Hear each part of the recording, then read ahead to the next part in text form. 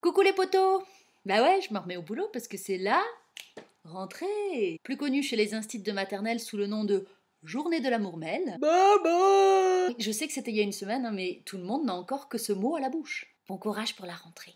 Alors, pas trop dur la rentrée? Bah, ça va comme une rentrée, quoi. Mais ferme ta gueule. C'est vrai, c'est suffisamment déprimant comme ça. Et ça commence même avant septembre. Moi, ma dernière semaine d'août, c'était juste comme un long dimanche interminable et bien dégueulasse, en fait. Attends, il fait nuit à 20h30, on perd 15 degrés, t'arrêtes enfin de peler que ton bronzage est déjà en train de se barrer. Oh, J'ai bien vu que tout le monde essayait de se voiler la face, hein, mais au fond, on sait tous que la fête est finie. Ah bah oui, là je te le dis, il n'y a plus d'excuses pour glander, acheter voici et boire du rosé dès midi 30. Hein. Ah non, mais je suis au bout du slip, les gars. Si, bah, je le vois bien.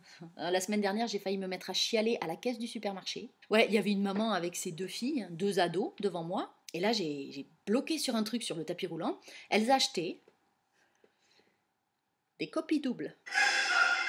Le truc le plus badant du monde. Les copies doubles. Je comprends même pas que ça existe encore en fait. C'est vrai, aujourd'hui on construit des bagnoles qui se garent toutes seules, des téléphones qui font tout sauf les pipes.